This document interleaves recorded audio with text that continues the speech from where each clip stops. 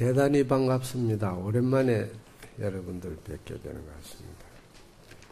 지난번에 원효 스님의 발심 수행장에 상편을 어, 말씀드리고 오늘은 이제 하편인데 천년 전에 스님께서 어, 우리들에게 남겨주신 말씀을 이렇게 쉽게 간단 명료하게 이렇게 말씀을 해놓은 글에 대해서 보통 사람들이 너무 쉬우니까 그런지 몰라도 별로 귀담아 듣지도 않고 관심도 없고 또 그것을 실천에 옮기고자 하는 의지도 없어요.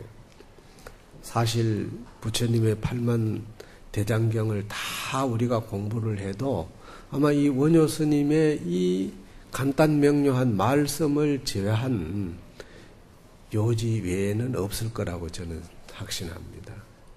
아시다시피 우리가 흔히 중생이 탐진치 삼독을 제거하는 데는 개정해를 닦아야 된다. 그래서 삼독심을 제거하기 위해서는 사막을 닦아야 된다고 얘기를 많이 하고 있습니다. 그런데 이것이 우리가 신앙생활의 기본 골격이 돼야 돼요. 신앙생활의 기본 골격이라는 것은 전편에서 원효스님 말씀이 마지막 부분에 이렇게 얘기를 했습니다. 사람들이 배가 고프면은 아, 뭔가 속에 배가 고프니까 채워야 되겠다 생각을 하고 밥을 찾아가지고 그 흙이 진 배를 채우려고는 누구든지 다 생각을 낸다는 거예요. 그런데 자기가 가지고 있는 어리석은 마음을 고쳐가지고 이것을 지혜롭게 만들려고 하는 이런 마음을 가지는 사람은 드물다. 얼마나 쉬운 얘기입니까? 우리가 일상생활 속에서 살아가는데 자기가 자신의 육신의 위해를 가한다든가 육신의 어떤 그 위기가 다다르면 그걸 적시적시 해결하려는 생각을 내잖아요. 뭐 조금만 열이 나도 병원에 가고, 음? 조금만 속이 이상해도 병원에 가서 진찰을 받고, 적시적시 대처를 하면서도 자기가 가지고 있는 이 어리석은 마음, 우치한 이 마음을 지혜롭게 고쳐야 되겠다는 이 부분은 급하게 생각을 안 하는 거예요. 오히려 어찌 보면은 그렇게 어리석게 사는 것이 내가 똑똑하다고 생각을 하는 거죠. 근데 원효 스님 말씀은 우리가 살아가고 있는 삶 속에서 우리의 용심, 즉 마음을 쓴다고 하는 그것이 지혜롭게 쓰는 것보다 어리석게 쓰는 것이 훨씬 많다 이랬습니다. 그런 마음을 적시적시 고쳐 나가야 그것이 참 불자다. 그래서 실천을 통해서 지혜를 얻어야 된다. 그래서 지혜와 실천은 분리될 수가 없는 거다. 그러니까 닦지 아니하고는 지혜로울 수가 없고 지혜로우려면은 닦아야 된다. 오늘 그 두 가지 말씀을 하시는 거예요. 이어서. 그래서 보면은 행지구비는 여거 이륜이요. 실천과 지혜가 함께 갖춰지려고 하는 것은 마치 수레의 두 바퀴와 같다. 수레가 두 바퀴가 있어야 걸어갈 수가 있지. 한쪽에 빵꾸가 나가지고 바람이 없으면 차가 갈 수 있나요? 못 가잖아요. 그러니까 이 실천과 지혜는 분리될 수 없는 수레의 양 바퀴와 같은 것이다. 뿐만 아니라 자리 이타 대성보살이 자기도 이롭고 남도 이롭게 하고자 하는 그 마음을 낸다는 것은 마치 새의 두 날개와 같은 것이다. 새가 한쪽 날개만 가지고 못 날잖아요. 양날이 있어야 허공을 제대로 날아갈 수 있다. 그러니까 이 수행과 지혜는 분리될 수 없는 이 두 양 날개와 같은 존재라는 것을 우리에게 인식을 시켜주고 있습니다.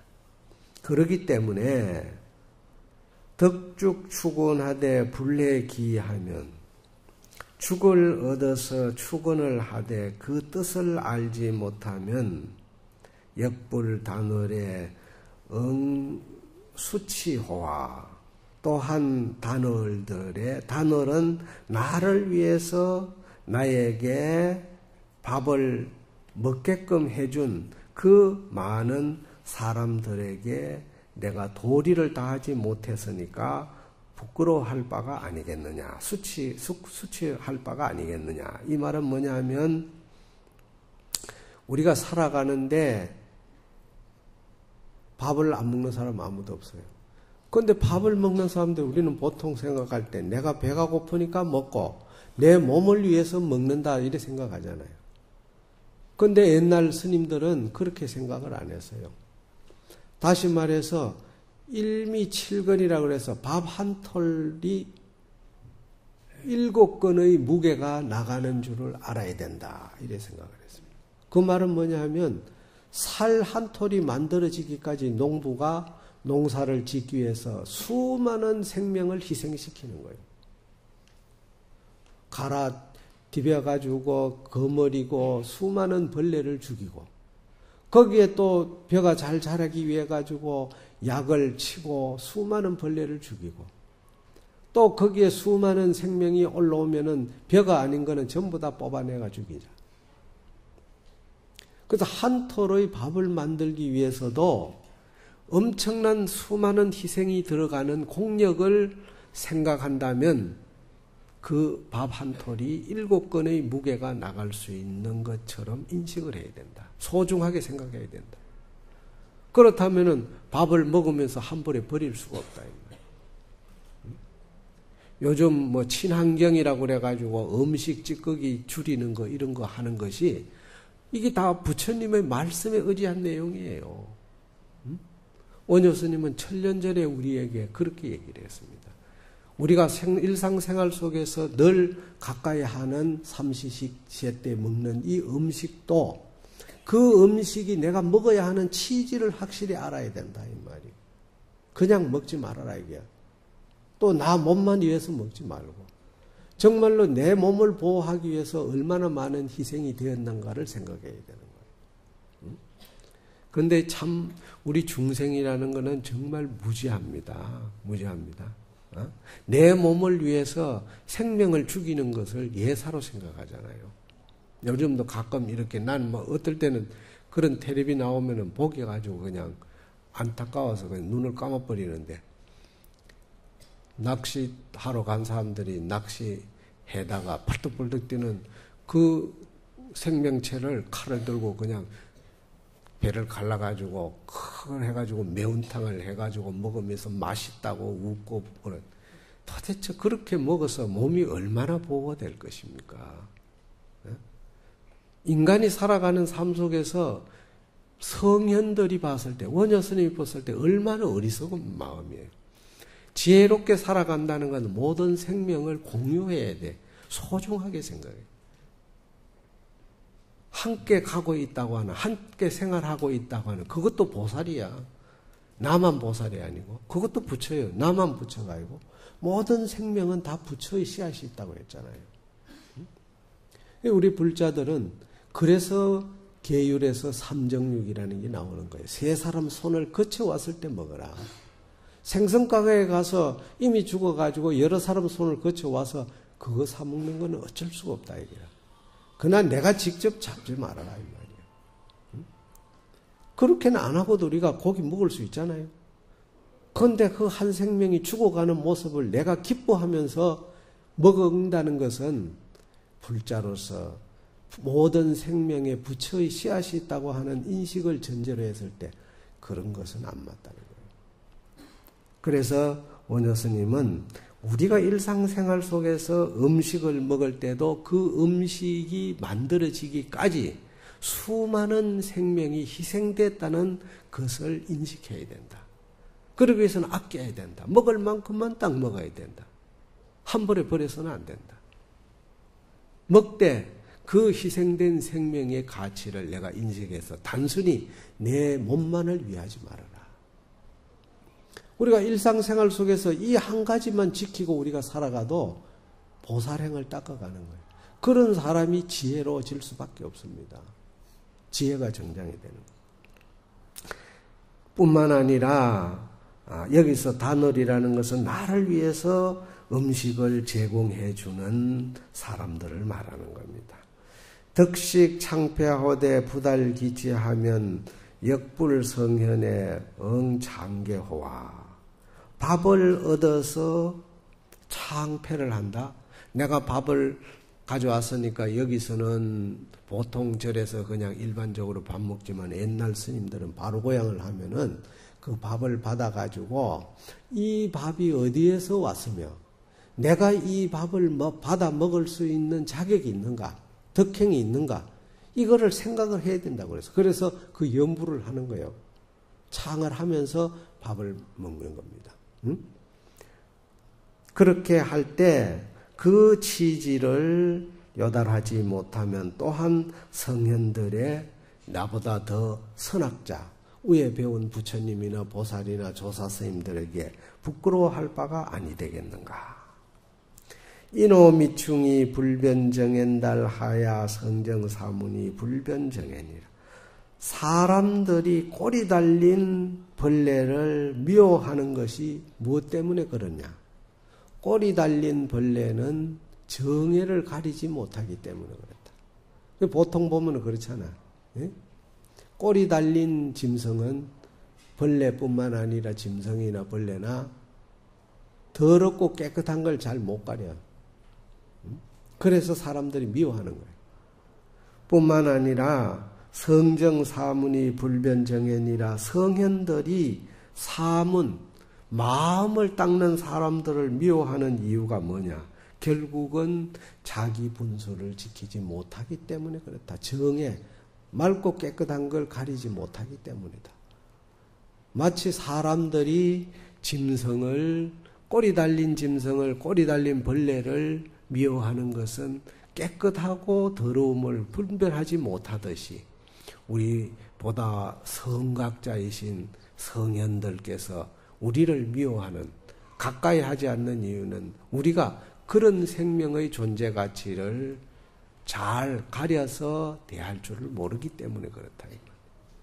응? 기세 가능하고 성공 천상은 계위 선제니 세, 세상의 시끄러움을 버리고 허공을 타고 하늘에 천상의 하늘에 오르려고 하는 것은 개가 착한 사다리가 된다. 이 말이 뭐냐 하면 우리가 세상 살아가는데 즐거움이라는 것이 뭐냐? 즐거움이라는 게. 근데 물질 속에서 우리가 즐거움을 느끼는 것은 그것은 우리의 마음을 100% 만족할지 못해요. 물질로 인해 가지고 마음을 더 억제하고 더 고통스럽게 하는. 근데 그걸 적당하게 잘 유지할 줄 알아야 돼. 그게 지혜로운 사람이에요. 응? 보통 사람들이 돈을 모으면은 지혜롭지 못하는 사람은 죽을 때까지 모으는 거야. 죽을 때까지. 죽을 때까지 모, 모으는데 죽으면서도 돈, 돈, 돈, 돈, 돈, 돈, 돈 하다가 갚, 갚버리는 거야. 가고 나니까 뭐예요? 그 돈, 돈 모아놓은 거 다 가져가냐, 이 말이에요. 다 두고 가잖아. 근데 다 두고 가는 그것 때문에 자식들 간에 분쟁이 일어나는 거예요. 근데 요즘 보면 스님들 간에도 그런 일이 들어있대요. 스님들 간에도 보면. 상자들에게 물려줄 거 없이 그냥 깔끔하게 가면은 아무 문제가 없는데 돈을 많이 모아가지고 놓고 가는 바람에 상자들이 그것도 서리 차지하려고 싸움이 벌어져요. 그런 예들도 있어요. 근데 이거는 절집안뿐만 아니라 인간이 살아가는 우리 삶의 속에 물질로 인해서 우리의 마음을 더 억제하는 게 한두 가지가 아니에요. 그래서 정말로 세상에 시끄러운 그런 모든 번뇌를 다 버리고 정말로 극락왕생하고 싶걸랑 이 말이죠. 응? 극락왕생 하려면 뭐냐? 계위선제라. 부처님의 말씀을 의지해가지고 실천에 옮기는 그 개가, 그 개가 선제 착한 사 내가 극락왕생하는 착한 사다리가 된다. 너무 쉬운 말이에요, 정말. 너무 쉬우니까 아 사람들이 안 지키는가 봐. 정말로 우리가 살아가는데 먼 곳에서 찾을 것이 아니라 내 일상생활 속에서 얼마든지 귀중한 존재 가치를 찾아서 마음을 지혜롭게 만들어낼 수 있는 게 너무나 많습니다. 음. 이런 까닭으로 파괴하고 위타복전은 여절익조가 부기상공이라 마치 계를 지키지 아니하고 부처님의 말씀에 의지해서 하나라도 내가 실천해 하고자 실천에 옮기고자 하는 그런 생각이 없이 남의 복전이 된다. 뭔가 남을 위해서 뭔가 좋은 일을 한다. 이런 생각을 일으킨다는 것은 마치 날개 부러진 날개가 꺾어진 새가 거북이를 짊어지고 허공을 나르는 것과 같다. 날개가 부러진 새가 날기도 힘드는데 거기에 거북이까지 짊어지고 어떻게 나르게 불가능한 겁니다. 어? 그러니까 부처님의 말씀을 내가 몇 가지라도 실천에 옮기는 그런 마음이 없이는 절대 남의 기중한 스승으로서의 족적을 남길 수도 없을 뿐만 아니라 한 가정이면 가정에 내가 많은 후손들에게 좋은 이미지로 남겨줄 수 있는 그런 인식이 될 수가 없다 이 말이에요. 자제를 미탈하면 타제를 불석이라 스스로 죄를 벗지 못한다면 다른 사람의 죄를 벗겨줄 수 없는 것이다. 너무나 당연한 얘기 아니에요. 내가 내 죄도 못 벗는데 어떻게 남의 죄를 벗어, 벗겨줄 수 있습니까? 그래서 옛날에 어떤 사람이 공자에게 가서 물었어요. 죽음이 무엇입니까? 공자가 뭐라고 그랬어요? 시었냐여, 시었냐여, 무슨 말을 그렇게 합니까? 나도 아직까지 죽어보지 않았는데 내가 어떻게 죽음을 말할 수 있습니까? 응? 그러니까 우리는 살아가는데 죽음이라는 그 근본의 문제를 해결하는 하기 위해서는 얼마나 우리가 살아 있으면서 이 삶에 부처님의 말씀에 의지해서 충실하느냐 이 자체가 죽음의 문제를 해결해 가는 거예요. 그래서 내가 죽는 순간에 그렇게 열심히 사는 사람은 죽는 순간에 모든 죽음의 문제가 해결되기 때문에 그 사람은 죽어도 영원한 거예요. 원효가 1200년 전에 돌아가셨지만은 오늘의 원효의 말씀을 수많은 사람들이 실천에 옮기고 그것을 배우는 이유가 뭡니까? 그냥 단순히 돌아갔으면 우리에게 이런 정신적 기감이 될 수 있는 이런 말씀을 남긴 이유가 뭐냐 이 말이에요. 그분은 부처님의 말씀에 의해서 그만큼 열심히 살았어요. 그러니까 죽어도 죽음이 아니에요. 영원한 죽음이 아닙니다. 어? 아니 400년 전에 이순신이 죽어도 오늘날 수많은 사람들이 이순신을 생각하는 것은 뭐 죽어도 죽지 않았어요. 이순신이라는 그 4대 육신은 없어져도 그 이름은 영원히 남아요. 영원.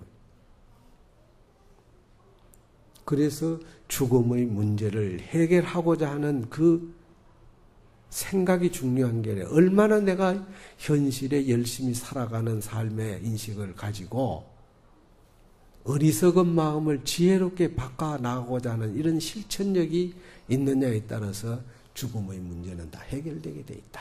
이것이 원효 스님의 답변이에요.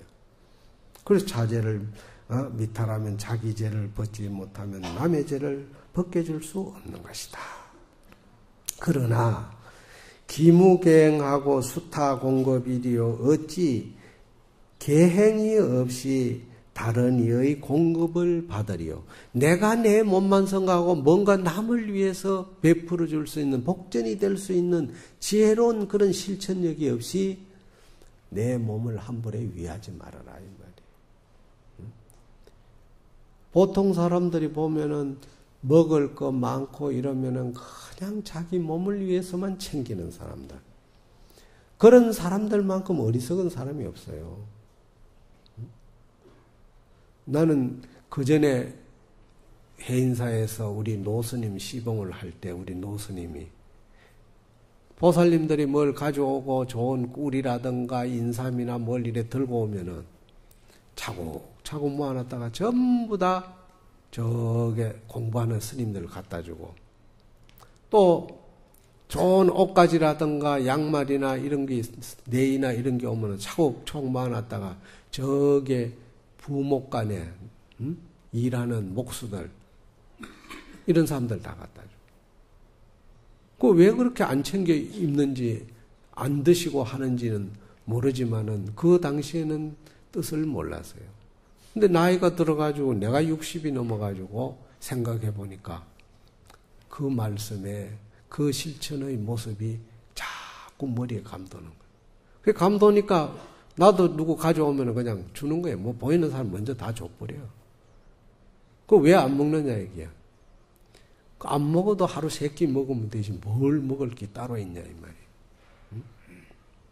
정말로 사람이 식탐, 이 식탐을 줄인다는 것이 이것이 지혜를 정량하는데 얼마나 소중한지를 저는 나이 한갑 진갑 지나면서 깨달았습니다. 참 정말 살아가면서 인생이 이렇게 무지하구나 어리석구나 하는 걸 많이 느낍니다.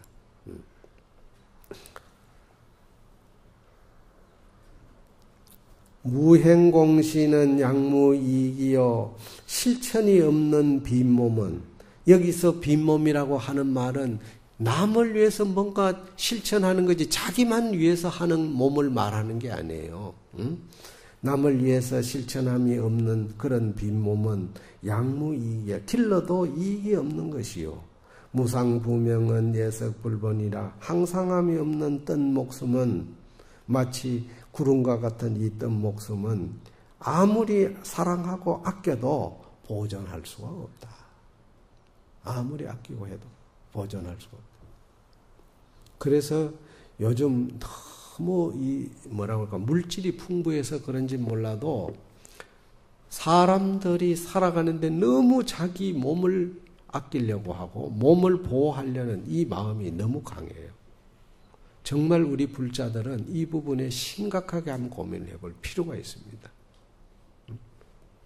나는 뭐 요전에 어떤 보살님이 왔다 갔는데 얼굴이 통통하게 더 젊어졌길래 어째 그랬냐 물으니까 뭐 보톡스인가 뭔가 맞았대.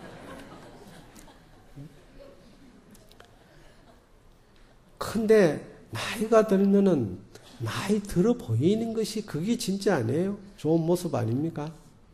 네? 그렇게 보톡스를 맞는다고 한들 얼마나 가겠어요? 조금 더 연장될런지 모르겠습니다. 정말로 우리가 살아가는데 식탐 하나 자제, 내 몸을 보호하기 위해 가지고 음식 먹는 이거 하나만이라도 우리가 지대로 실천에 옮긴다면은 정말 그것은 이 원효 스님이 말씀하신 무상부명, 정말로 항상함이 없는 이 무상한 이 뜬 목숨, 이것을 아무리 사랑하고 아껴도 보존할 수 없는 것이다. 그렇기 때문에 망용상 덕하야 능인장고하고 용상의 덕을 발해서 능히 긴 고통을 참아야 한다. 다시 말해서 불자는 용과 같은 위력과 코끼리와 같은 덕성을 가져야 된다.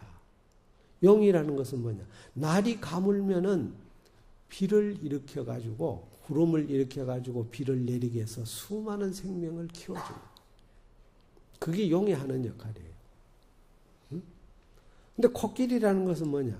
코끼리라는 것은 발이 땅에 닿지 않으면은 걸어가지를 않는 거예요. 강물이 깊어도 발이 땅에 닿아야 걸어간다고. 우리가 살아가는데 깨를 얼마나 많이 부려. 정말로 묵묵하게 코끼리가 걸어가는 그 실천력, 간단 없이 끊임없이 꾸준 하게 변화 없이 이어갈 수 있는 그런 실천력을 가지는 것이 그것이 불자의 자세다 이 뜻입니다. 그게 용이 가지고 있는 위력과 코끼리가 가지고 있는 그 덕생, 덕행, 음? 그것을 우리가 바라볼 때 그러기 위해서는 어떻게 했냐? 내가 내 스스로 불편함이 있더라도 그걸 참아야 된다 이게. 응? 능히 긴 고통을 참고 기 사자자의 사자자하야 영배 용락이니라 사자자를 기약하기 위해서 영원히 용락을 욕심의 즐거움을 버려야 할 것이다. 사자자는 뭡니까? 부처님이 앉는 자세, 자리. 모든 사람이 부처님의 제자는 종 궁극적으로 가야 할 자리가 뭐예요? 부처가 되는 자리 아닙니까? 그게 사자자야. 응? 그런 자리에 오르기 위해서는 내가 가지고 있는 물질적 용락을 버려야 하는 것이다. 행자 심정하면 제천이 공찬하고 수행하는 사람이 마음이 맑으면은 모든 천신들이 나를 칭찬하고 함께 칭찬하고 도인이 연색하면 선신이 사리하나니라. 부처님의 말씀에 의지해서 수행하는 사람이 도인이요. 도인이라는 것은 무슨 특별한 계층에서 특별한 모습으로 살아가는 게 도인이 아니라 인생의 길을 묵묵하게 바르게 살아가는 사람을 도인이라고. 그 옛날 어른들은 나이 60이 넘으면은 호를 쓰면서 마지막에 도인이란 말을 많이 써요. 스님들만 하는 얘기가 아닙니다. 그건 왜 그러냐? 인생이 60이 넘으면은 그야말로 고락성세를 다 맛봤기 때문에 그때는 수행하지 말라 해도 본인이 그때는 알아서 다 하게 돼 있어. 다 도인이 된단 말이에요. 그래서 어, 도인이 연애하는 것은 다시 말해서 물질의 생각을 일으키는 것은 모든 선신들이 나를 버리는 것이다. 그래서 너무 무력에 집착을 해가지고 살아가면은 그야말로 선신이 나를 버린다고 그랬습니다. 그 선신이 나를 버린다는 것은 나를 두어해 주지 않으면은 어떻게 됩니까? 내가 움직이는 일거수 일투정마다 불안하기 짝이 없는 거예요. 또 뿐만 아니라 정신적으로 엄청난 번뇌가 끊이지 않고 일어나는 거예요. 이런 우리가 마음을 가지고 정말로 원효 스님의 말씀을 깊이 새겨볼 필요가 있습니다. 사대 홀산이, 홀산이라 불보구준이 이 사대 지수화풍이라고는 우리 몸뚱아리 만들어진 이 원소가 문득 흩어진다. 죽고 나면 결국 사대가 다 흩어지잖아요. 흩어지면은 불보구준이 오래도록 주할 수 구주할 구주 보존하여 구주를 보존하지 못하니 오래도록 보존하지 못한단 말이죠. 응? 오래도록 보존해서 머물 수 없는 것이니 금일석이라 파행 조제인데 아, 오늘이 저녁이야. 아침인 듯 하지만은 저녁이야 사실. 그 하루가 그렇게 짧다 이 뜻입니다. 금일이 저녁이라 자못 아침에 행할 것인데 그러니까 하루가 금방금방 가니까 아침마다 실천에 옮기고자 하는 그런 마음을 순간순간 급하게 급하게 가져야 된다 이 뜻이에요. 응? 세락은 후곤을 핫함 착제며 세상의 즐거움은 후에 고통이 되거늘 어찌 탐착할 것이며 일인이 장락연을 합을 수제리요 한 번 참는 것이 영원히 즐거움이 되거늘 어찌 닦지 아니하리요. 이 말은 무슨 말인고 하니 우리가 살아가는 세상의 무력, 세상의 이 무력에 집착해 가지고 살아가는 사람이 막판에 가서 정말로 행복하다, 즐겁다, 이 생각을 일으키는 사람은 거의 없습니다. 이 진리예요. 결국은 그 무력의 가치가 막판의 해양이 남을 위해서 돌아갔을 때 그 고통이 줄어드는 것이지 그걸 안고 가면은 결국 끝이야. 그런데 이 한국 사람들은 욕심이라는 건 끝이 없어. 자기가 가지고 있는 욕심은 아들에게도 잘안 가르쳐줘요. 옛날에 어떤 사람이 집신을 삼는데 아들하고 자기 아버지하고 똑같이 집신을 삼아가지고 시장에 팔러 나가면 아버지 거는 잘 팔리는데 아들 거는 안 팔리는 거야. 그래서 아들이 아, 어떻게 그 비법이 있는지를 가르쳐 달라 하니까 이놈 자식 뭘 묻고 앉았느냐고 열심히 집신을 매라고 그러거든. 안 가르쳐 주는 거야. 그런데 마지막에 이제 아버님이 돌아가실 때가 됐는데 임종하면서 아들이 마지막에 물었어. 응? 그 집신을 삼는 비법이 뭐냐고. 응? 그러니까 마지막에 숨 넘어가시기 직전에 하시는 말씀이 이놈아 마지막 손질을 잘 해야 되나니라. 뭐 아무것도 아니 쉬운 거야. 쉬운 것 같지만은 그것이 사람들이 어렵습니다.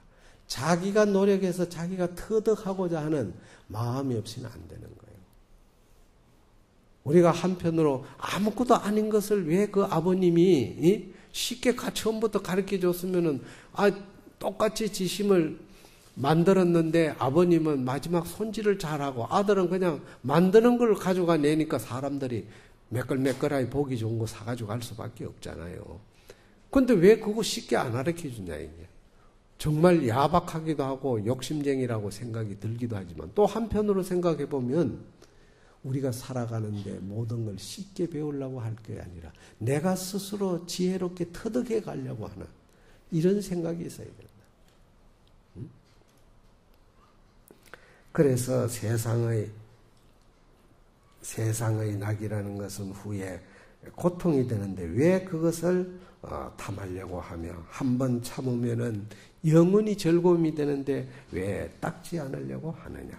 즉 수행이라는 것은 인고를 겪지 않고는 수행이 될 수가 없다 이 뜻입니다. 내가 불편을 겪지 않고는 절대 낙이 될 수가 없다 이 뜻입니다.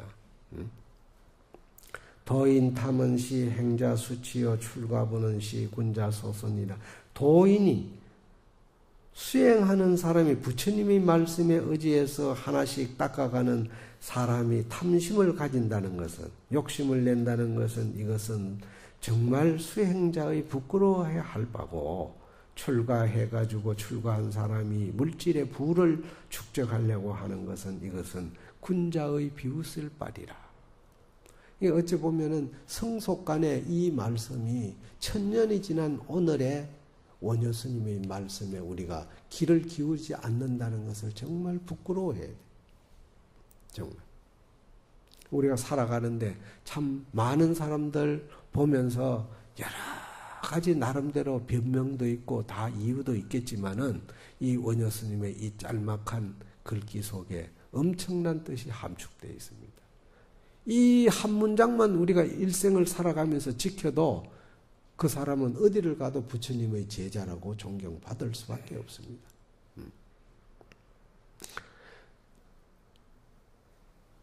자언이 부진이 언을 탐착 불기하며 이 말이 내가 위에 지금까지 한 이 얘기 끝이 없는데 탐착을 중지하지 말지 아니하며 제2무진의 두 번째도 또한 끝이 없는데 부단 예착하며 예착을 끊지 아니할 것이며 차사무한이는 이러한 일들이 한정이 없어 한정이 없는데 세사불사하고 세상의 어지러운 일들을 버리지 아니하고 피모무제언을 저 끝없는 것을 무죄한 것을 깨한다.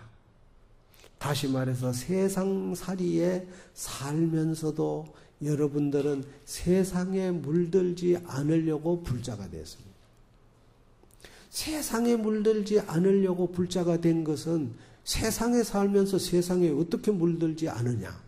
그것이 바로 진흙 속에서 피는 연꽃이야말로 진흙 속에서 피는 꽃이지만 그 잎사귀에나 꽃에나 그 흙구덩이에 물을 빨아들이지 않는 것과 같다. 이게. 바로 여러분들 그런 삶을 살기 위해서 불자가 된 거예요. 연꽃 같은 삶을.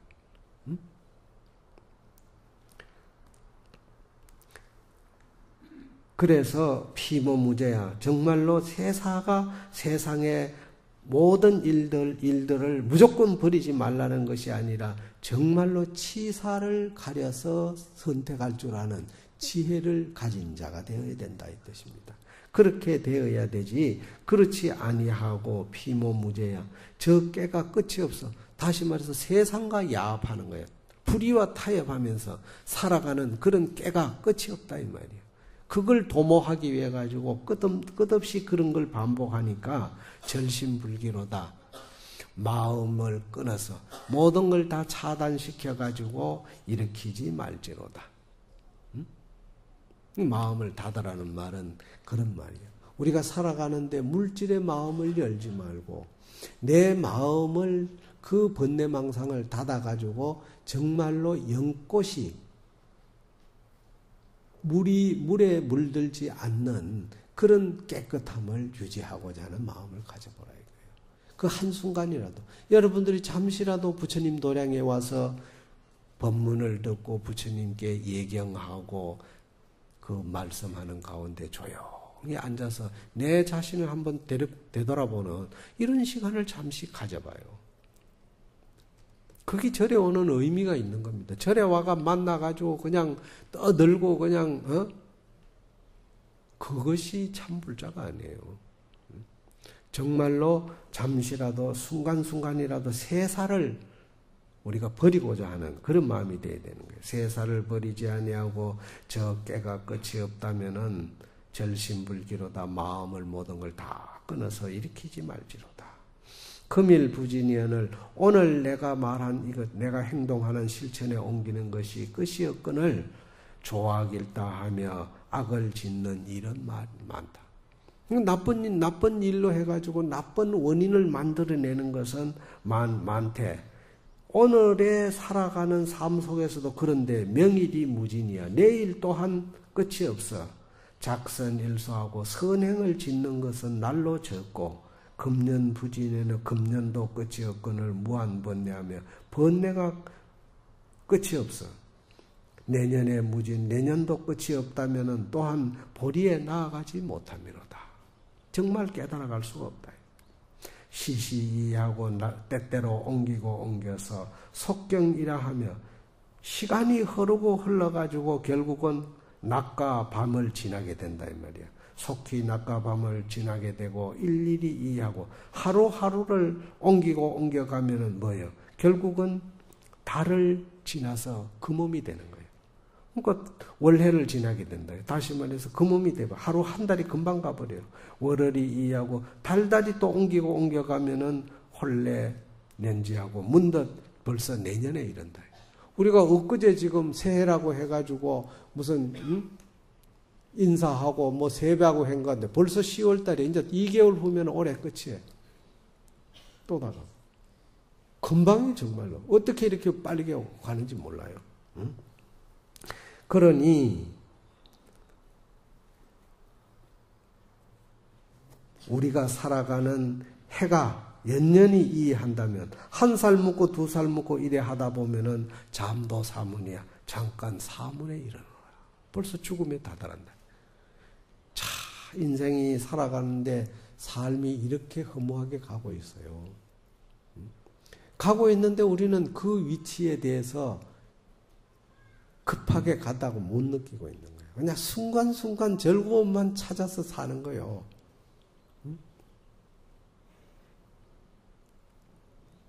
나는 어저께 한, 한 40년, 한, 건, 어, 4, 50년 만에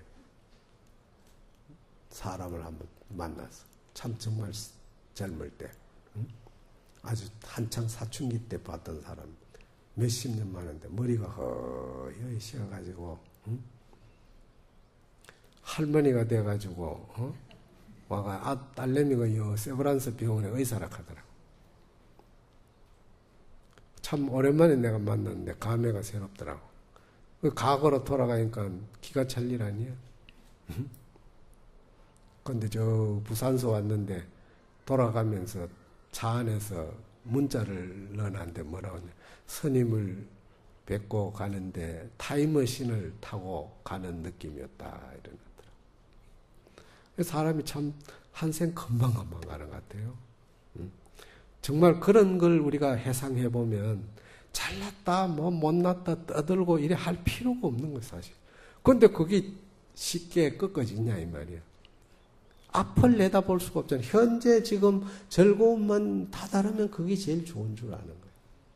그렇잖아요. 우리가 살아가는 삶이. 그 성현의 입장에서 봤을 때 얼마나 어리석어요. 그래서 원효 스님은 당신이 겪어본 그 체험을 그대로 말씀하시는 거예요. 이렇게 시간이 흐르고 하루가 흐르 달이 저게 하루가 흐르고 달이 흐르고 해가 흐르면 잠도 사문이야. 벌써 잠깐 죽은 문에 이르렀다 이 말이야. 그러니 파거 불행이여 노인 불소라 부서진 술에는 행하지 못해. 젊을 때 그렇게 잘 움직이고 하다가 한쪽 다리를 쩔떡쩔떡 절기도 하고 일어나면 아이고 허리야. 응? 정말로 수레를 오래도록 쓰면은 결국은 뭐예요? 자동차 사용을 오래 하면 수명이 되면 결국 버려야 돼요. 아무리 고치고 뭐 어떻게 리모델링을 하고 그냥 해도 조금 더 탈 수 있을란가 몰라도 결국은 버려야 된다. 결국은. 그래서 파거불행이여 부서진 수레는 향하지 못해 그런데 노인 불수라 사람이 늙으면 어떻게 닦을 수 있겠어? 몸이 늙으면 공부를 하고 싶어도 안 돼요. 그러니까 젊을 때 해야 된다 이 말이에요. 사람이 늙으면 닦지 못하는지라 와생해태하고 누워서 게으름만 나오는 거야. 목숨은 살아 있으니까 누워 있으면 게으름 눕고 싶고 그냥 편한 것만 찾게 되는 거 게으름만 나오는 거지. 그러면서 자기 난식이라 앉았다 일어났다 하면서 난식하는 거예요. 어지럽게 아는 거는 많아 인생을 살아오면서 격정은 겪은 게 많으니까 아는 체는 하는 거예요. 그래도 잔소리는 꼭 하게 돼 있다. 나이 든 사람이 잔소리 안 하는 사람 참 드뭅니다. 그거는 정말 지혜를 닦은 사람이 아니면은요 거의 드물어요. 그 잔소리가 뭐냐? 결국은 난식이라고 그래요. 골고루 이것저것 골고루 그냥 알아가지고 있는 그걸 그냥 말하는 거예요. 참지 못하고. 그러니 기생불수하고 허가 이래하며 몇 생을 닦지 아니하고 헛되이 낮과 밤을 지날 것이며 기할 공신이 이건데 몇 번 빈물 얼마나 얼마나 헛된 몸으로 살아왔기에 일생 동안 닦지 아니하는고 일생 필수 심필유정하리니 이 몸은 반드시 마침이 있나니 후신은 하오와 빈몸은 어찌할 것인가?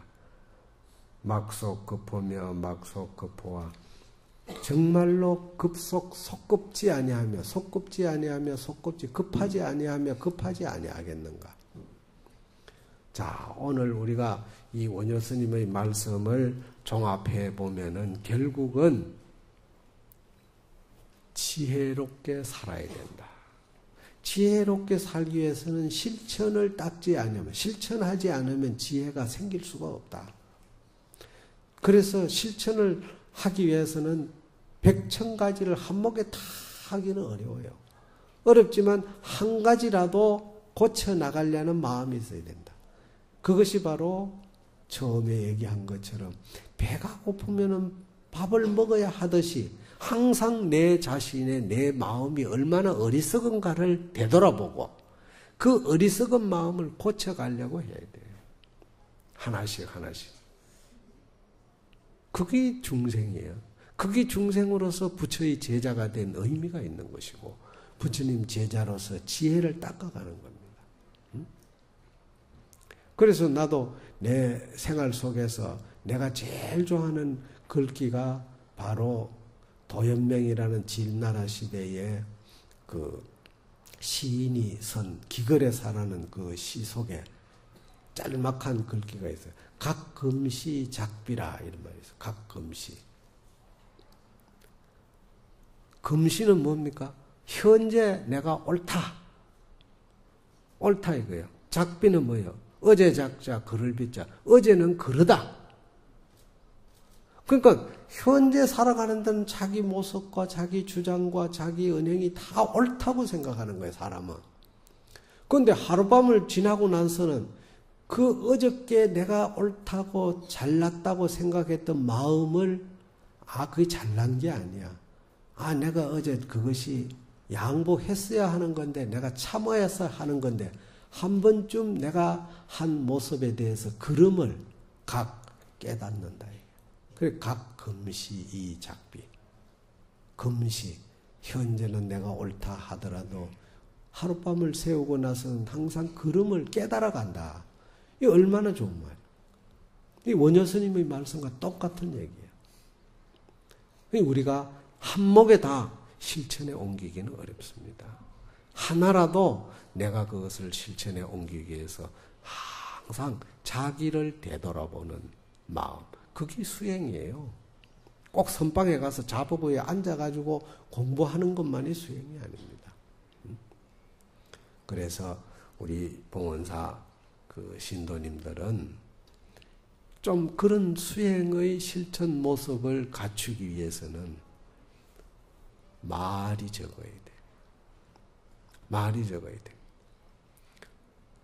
저기 법당에 가면은 노보살님들이 새벽이면은 나와서 예불 하고 기도하고 열심히 하는 분들이 있어. 근데 열심히 하기는 하는데 찬소 오는 사람 젊은 사람들 오면 잔소리를 한다는 거예요. 왜 앞자리에 앉느냐? 왜 옆, 옆자리에 앉느냐? 왜 뒤로 갔느냐? 앞으로 갔느냐? 결국은 말, 그렇게 내가 실천에 옮기면서 말을 통해서 다 까먹어 버려요. 효력이 없는 거지, 그러니까. 그러니까 10년 다니는 사람이 절에 10년 다니는 사람이나 1년 다니는 사람이나 몇 개월 다니는 사람이나 너무 이게 표가 안 나요. 똑같아, 그냥. 그래도 뭔가 부처님 도량에 와서 기도하고 정진하고 오랜 그런 신념을 가진 사람 뭔가 달라져야 된다고요. 달라져. 그런 모습의 불자가 되도록 우리 다 같이 노력합시다. 모두 성불하십시오.